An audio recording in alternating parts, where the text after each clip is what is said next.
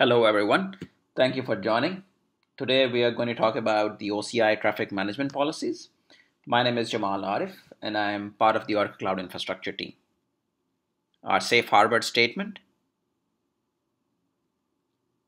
So, our main objectives for uh, this video series is to talk about uh, what our traffic management steering policy looks like in OCI and what are the top use cases that we are solving with the different policies that we have.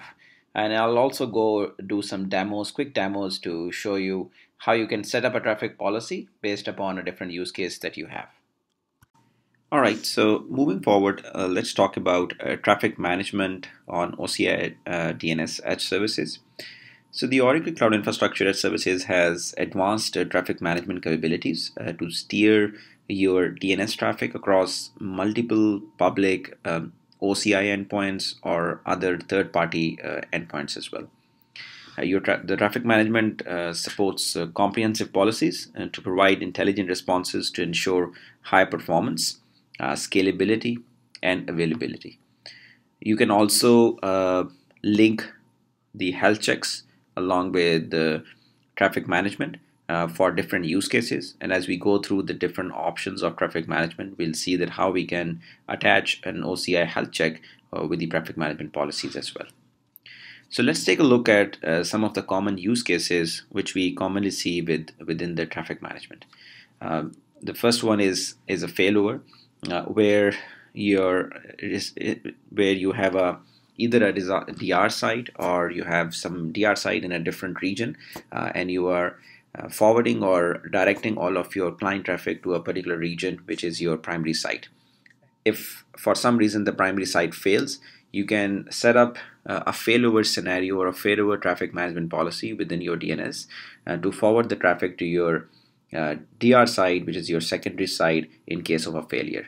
The failover, when you set up the failover, uh, you can associate different health checks and based upon the TTL values that you have, it would fail over to your uh, secondary site. Additionally, uh, cloud migration is another common use case where you use uh, the load balancing functionality within the traffic management policies, uh, in which you have the ability to uh, load balance your traffic based upon the weight that you provide to your uh, to your uh, individual endpoints. so, for instance, if you're migrating your application to cloud and you still want to have 90% of your data being sent to your on-premise primary site and just just to test out the things you just want to send out 10 percent of your client client uh, uh, requests to to your data which is sitting inside the public cloud in, inside your uh, inside a cloud. So you can uh, do so using the load balance load balancing traffic management policy within the DNS service. Uh, very similarly this this can be another uh, use case where your application is sitting across multiple regions for load balancing and you want to make sure that uh, most of your clients are being uh, helped with 60% within one of the regions and then the next are 25% in one and 15% in the region two. So you can leverage the load balancing traffic management policy along with uh, along with the DNS service. Just like uh, the failover scenario you can also link uh, the health checks with the load balancing uh, traffic management steering policy. And in that case uh, if one of the region or if one of the sites goes down you always have the ability to fail over it to the other uh, two sites which are active and serving traffic.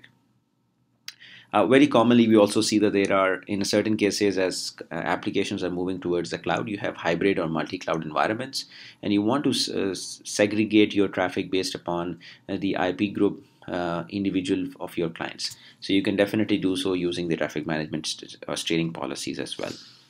Um, very commonly you see that you, there are use cases where uh, you want to have uh, some traffic which is uh, like based upon your geographical region for instance you have application is a is a is a e-commerce site and for your european customers you want all of your european customers to go to your european sites because of it's a it's a different language uh, for instance if it's an it's, it's a different language that they are using and all of your North American customers want to go to a different uh, site because of a different application running on it. Uh, so using the geolocation steering, uh, you can make sure that uh, users which are coming from a specific region are directed to workloads which are in a specific region as well. And you can always again combine your health checks for failover. If one of your region fails, they can fail over to the other region. Uh, then a couple of more uh, examples where you can do uh, use the uh, IP prefix for canary testing or use an ASN number for um, steering your traffic to a particular workload within the cloud. Uh, so let let's go uh, and take a look at the different traffic management policies with available within OCI. so you have a load balancer traffic management steering policy. you have failover, geolocation steering, and then ASN steering and IP prefix steering.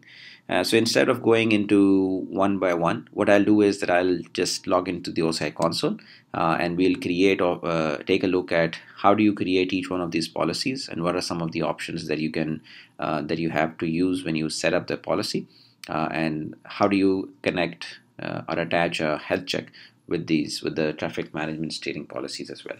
So that's all from this video. Thank you for joining.